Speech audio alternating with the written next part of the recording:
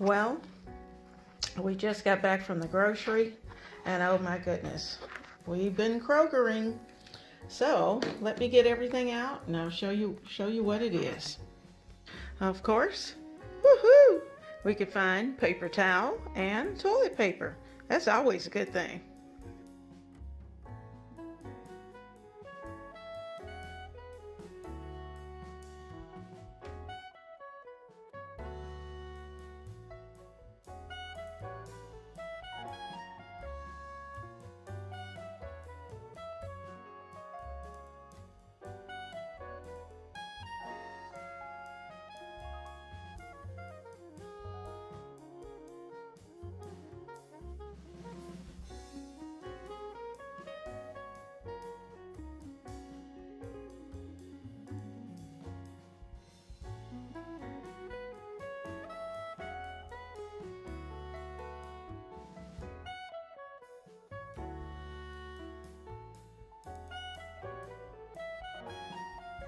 It's been a busy morning.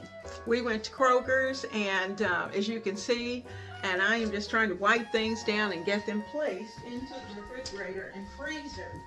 Now, uh, I knew exactly what I was missing and short of and had made a list, but I, uh,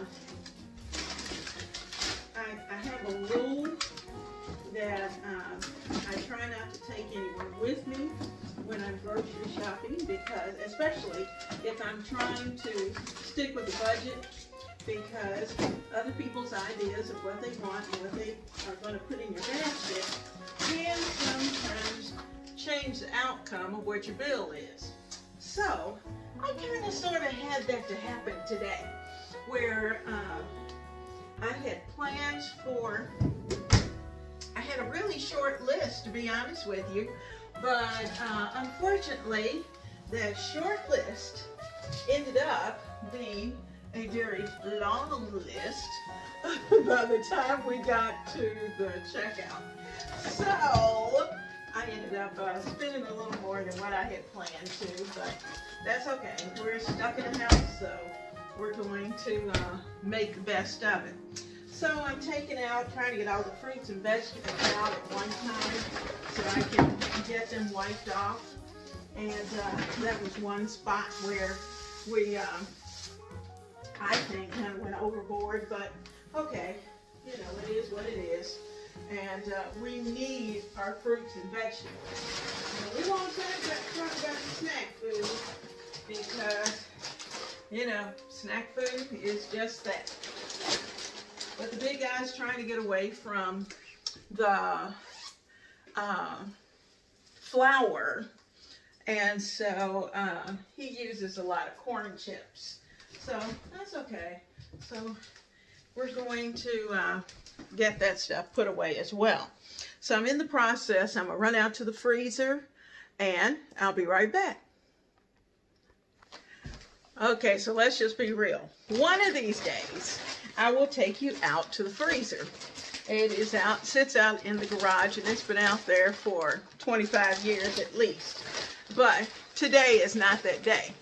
And let me say that it is not well organized at this point because I was just sticking things into it and trying to cram as much as I could into it. Wherever I found a, a, a spare square, it's got something in it. So the freeze is packed and I'm trying to keep it that way. Now, before I continue taking things out of the grocery bags, this is what I usually do. I try to, if I have meats that need to be divided, I try to do it ahead of time. And the reason for that is obvious. Uh, I'm going to buy as often as possible a family pack because of the savings. But it's just the two of us most of the time. So I'm not going to need to pack a full family size uh, packet of whatever it may be. So I'm breaking this pack of chicken wings in half. I'm going to find some scissors and I am going to ziplock half of the chicken. So let me get that divided here. I am using this pair of scissors is not the best pair of scissors. Let me go get a knife.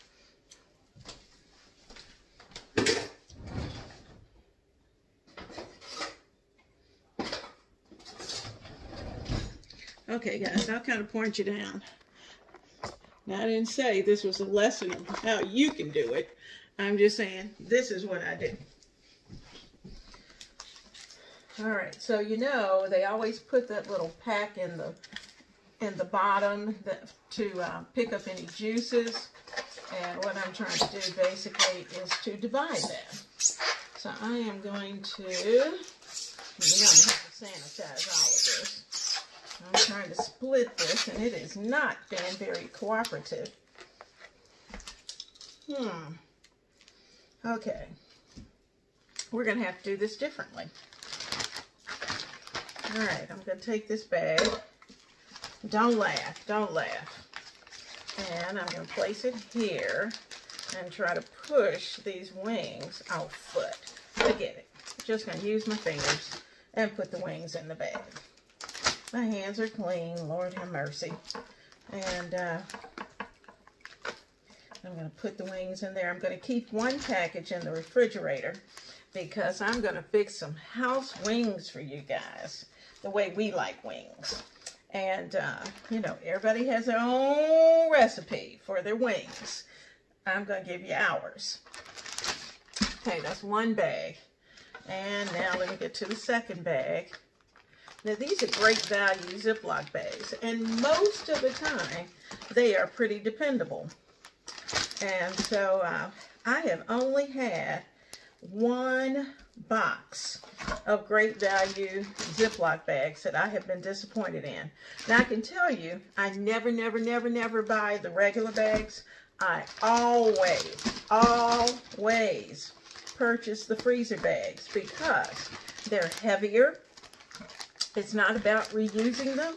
I like the weight of them and because they protect whatever's in them so much better. Now, so guess what? All that goes in this bag, which is going to go into a plastic bag. So I'm going to wash my hands again, get everything all cleaned up and disinfected, and get everything where it's supposed to be. I'll be right back.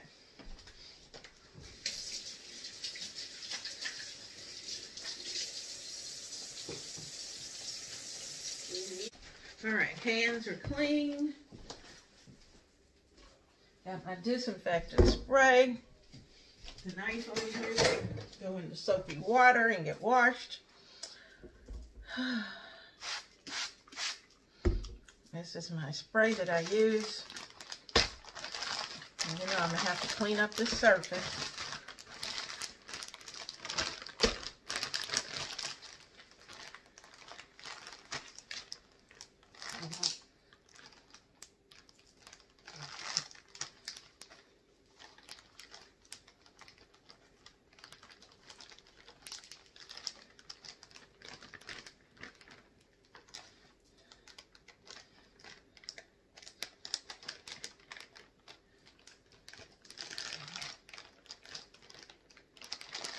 Okay.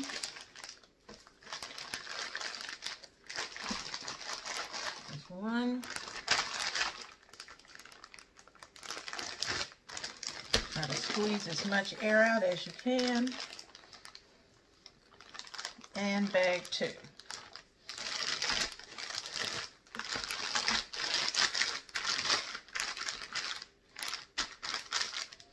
Okay.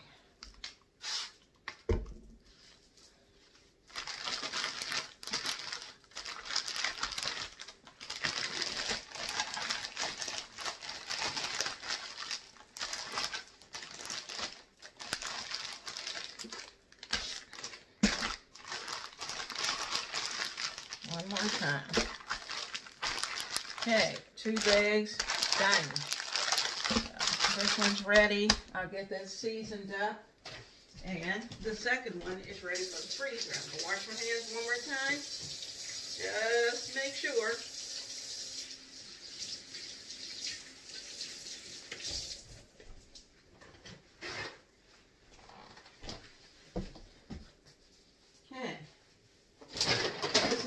trash bag. I don't know if you can see it, but I took one of the, the one of the Kroger bags had a broken um, had a broken top. So I've taken the that bag as a trash bag. Lift you up a little bit so we can move on to the rest of the groceries. Yeah, you see I still got a few bags yet to do. So just know, I'm going to probably speed you up through some of this because let's face it, you've seen people take groceries out of bags. That's not a big deal. So let's get moving.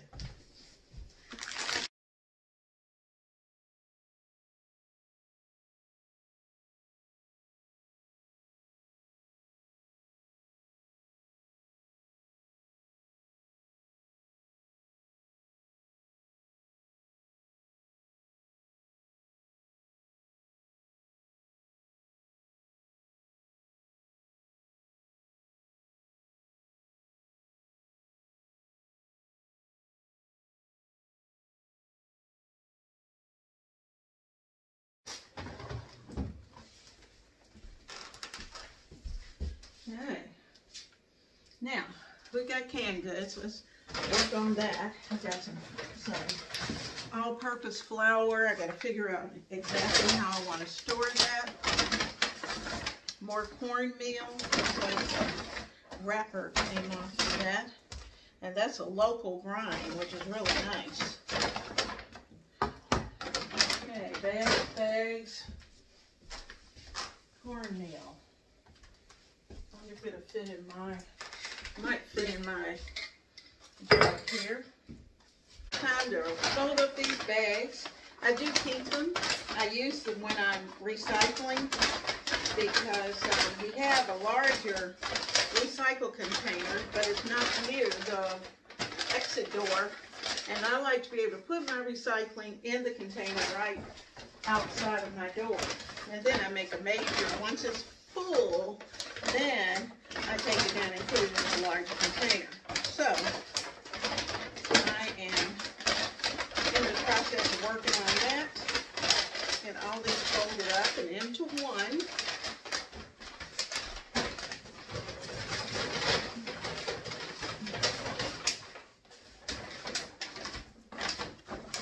Here's my receipt. I'll show you that I did some damage today. I don't usually that much damage, but if this lasts a month like it did last time, then we're in good shape, guys. Other than just picking up some fresh vegetables, I should be good.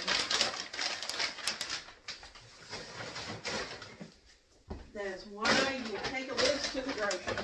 Never go to the grocery without a list. Because, honey, you'll get home and you won't have half the stuff you need. Been there, done that, and got way too many certificates.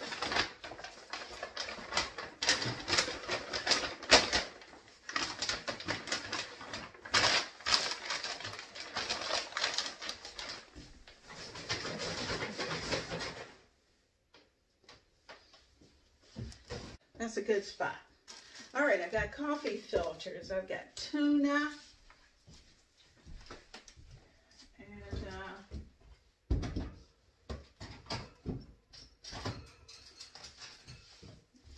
going in.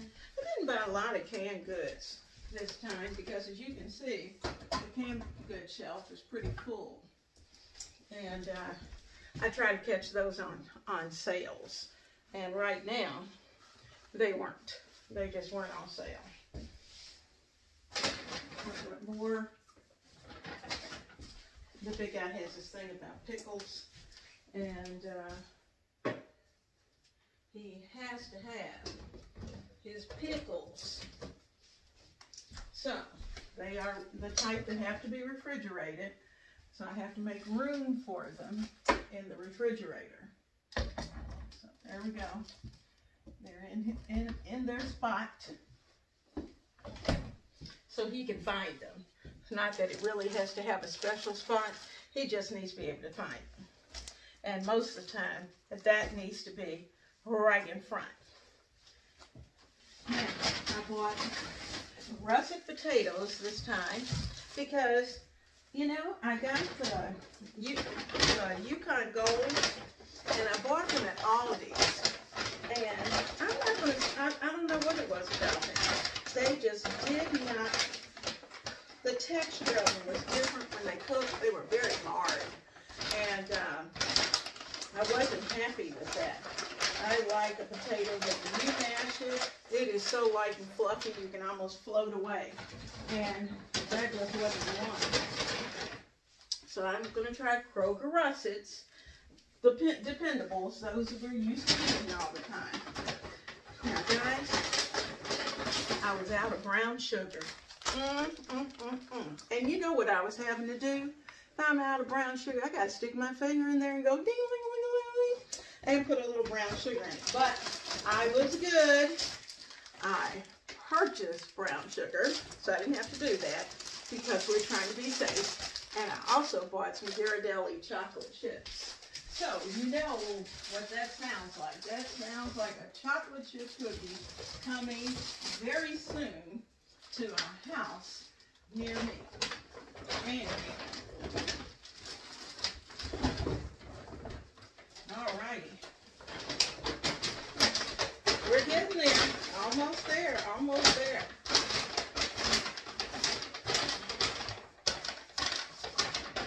Fold these bags up. you know, Kroger is always on your case about bring your bag, bring your bag.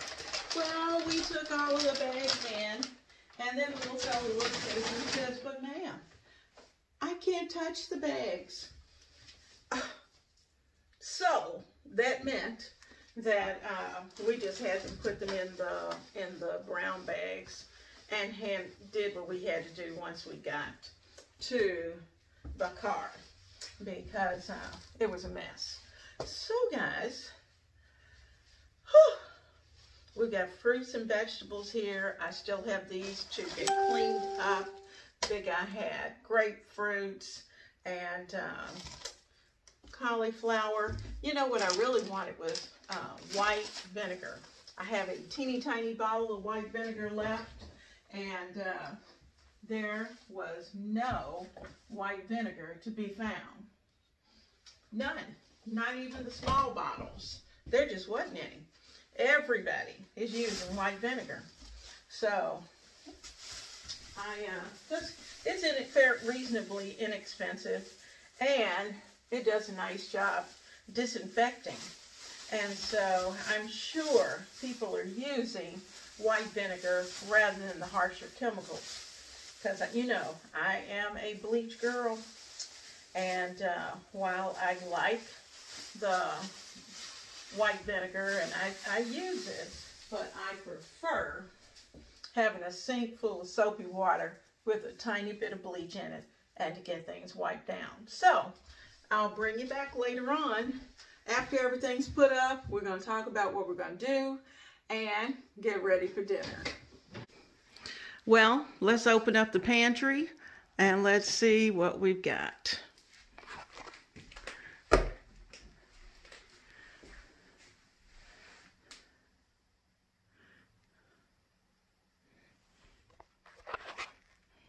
and we're ready to move on for the next month of dealing with the coronavirus. Yay! Thank God for being able to uh, go to the grocery and have food at home because there are so many who don't. Well, I still have my vest and my mask out, gloves are out, but all of my bags are stacked inside of a bag, and that's the way I store them. I have over here, as you can see, I still have, uh, I keep my potatoes and my onions outside so that they have a bucket that they go in and um, they can stay out there and they're cool. Now, I've got to clean up the trash bag and uh, take care of that part. And once I do that, I'm going to be able to sit down and have a little tea. One thing to keep in mind is that, uh, and something I really like about Kroger's, I have shopped at Kroger's for 45 years. And uh, what I really like about Kroger's is that they cater to the local farmers as much as they possibly can. And this particular corn, cornmeal was actually ground. It is a water ground style that I purchased, and um, it's manufactured right here in the state of Virginia. And it did not have to travel over 50 miles. So when you can, always try your best to buy local. Okay, let's get things cleaned up.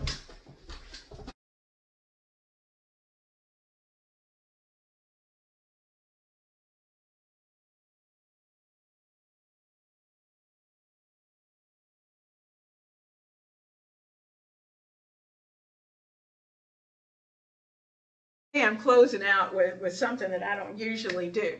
And I don't think I'll get in trouble for it. But anyway, um, I am a Carol Burnett fan.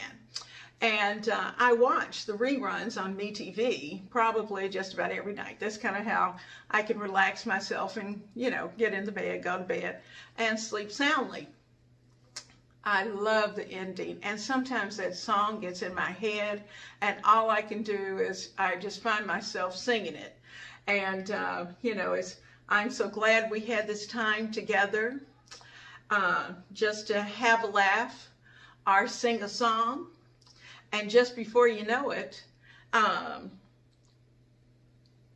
I got it twisted. I have to sing it in order to do it right. But anyway, I am so glad we had this time together and that we were able to do some shopping, do have some chit chat, and we are going to cook good meals for our family.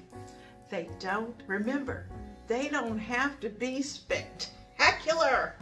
They don't, you don't have to be Martha Stewart every night for your children and your husbands and your friends and partners to be happy with what's on the table. First of all, you need to pick up that smile and let them know that you're happy doing what you're doing. When you're happy doing whatever it is you do, understand that's a blessing because you know when I looked around and I, and we have lost thousands of people in really a very short amount of time in the United States and on our planet. So I, guys, I'm telling you every day I find myself being very, very thankful for the fact that I'm still able to wake up every day. Thank you, God, for being able to do that. So, you know, we just have to make sure that we let our family know that we are grateful for them. And in turn, and this is a psychology 101 thing, when you are kind and you speak kindness into the people around you, at first, if they're growlers, they're going to growl. But before you know it, they're going to change their growl into a smile. So, let's speak positive thoughts into the people around you and let them know that they are, uh, are of value to you. You are of value to me. You're a part of my family, and I appreciate your being, being with me. And uh, I'm looking forward to spending more and more and more time right here with you in this kitchen of Ebony, Ivy, and Thyme, where we work hard, we love God and family, and we know without a doubt that anything else is just gravy. God bless you, and I'll see you later right here.